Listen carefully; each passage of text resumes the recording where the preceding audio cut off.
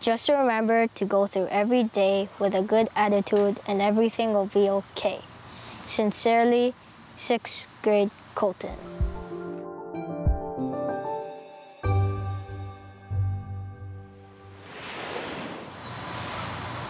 Dear 3rd grade Kolten, things are gonna get tough for you in 4th grade.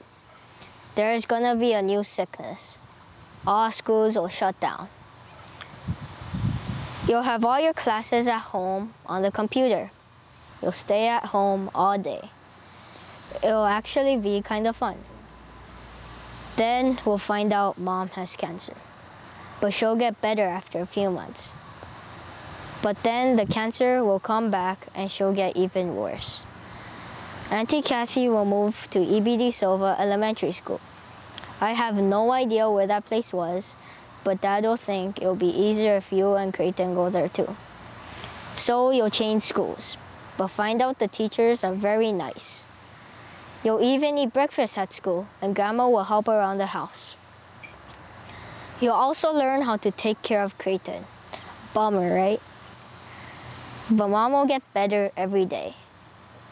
Just remember to go through every day with a good attitude and everything will be okay.